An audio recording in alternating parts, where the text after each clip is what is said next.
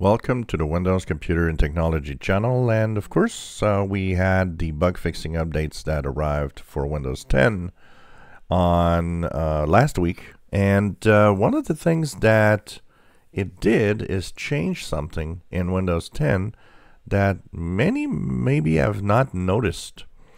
So of course uh, the update which was pushed uh, for the bug fixes was the um, preview update KB 5031445.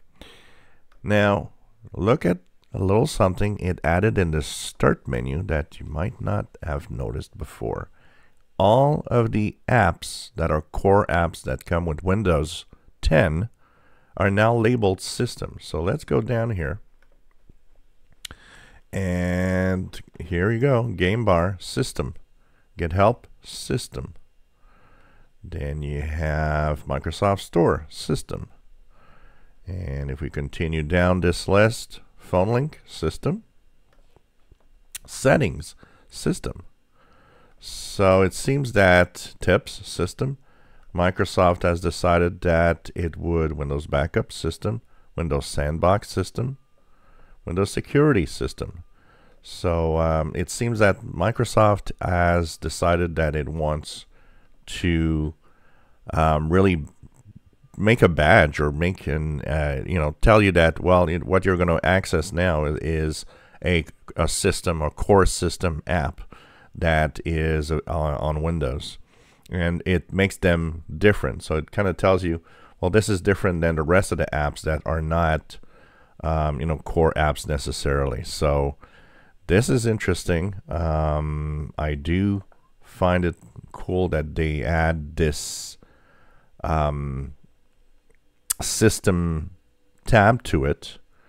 Uh, one of the interesting things that I want to see also is, yeah, they, the, these are the apps that basically the uninstall button are not available also.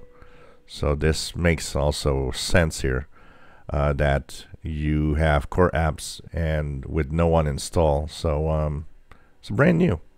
So I guess probably rather than adding that um, settings uh, in system where it says that you have you know system apps in the list here probably they're using just the start menu to give you the uh, apps that are system apps that come with Windows.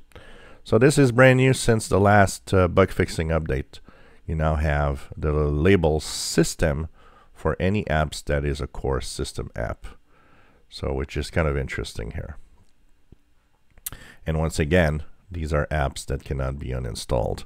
So they probably give that feature, that uh, badge to all of these apps that have a grayed out uninstall button.